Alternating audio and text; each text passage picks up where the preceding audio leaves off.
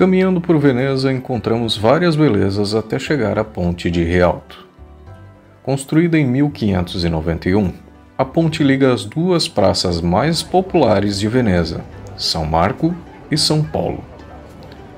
E a mais antiga a atravessar o Grande Canal e também a mais famosa, graças à sua história e desenho peculiar. Durante muitos anos, foi o mais importante centro financeiro de Veneza.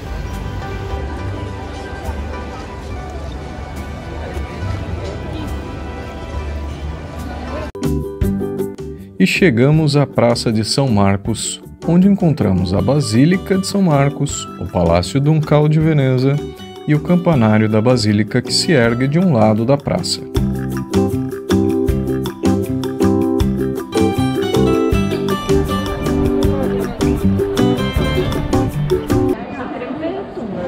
E aqui a Basílica de São Marcos.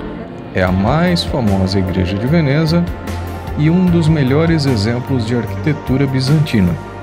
Está localizada na Praça de São Marcos e é a sede da Arquidiocese Católica Romana de Veneza desde 1807.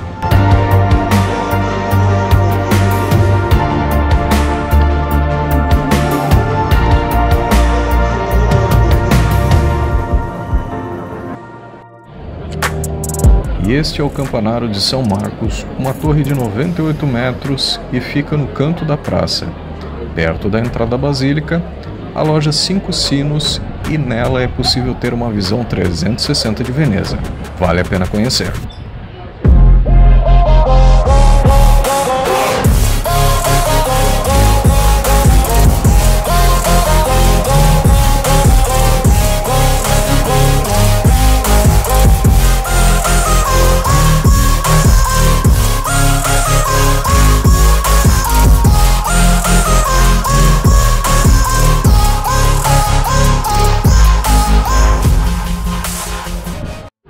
E as famosas gôndolas, né? Bom, nós escolhemos as gôndolas Bacino Orciolo, que fica do outro lado da Praça de São Marcos. E para andar nela, você vai pagar aproximadamente 80 euros e podem até 6 pessoas. O passeio dura 30 minutos e é uma excelente experiência que vale muito a pena. E nos despedimos de Veneza voltando pela Ponte Rialto, onde paramos para comprar alguns souvenirs. Em toda a cidade você vai encontrar várias lojas, então a dica é ir olhando os preços na parte da manhã e na volta você saberá onde estão os melhores preços.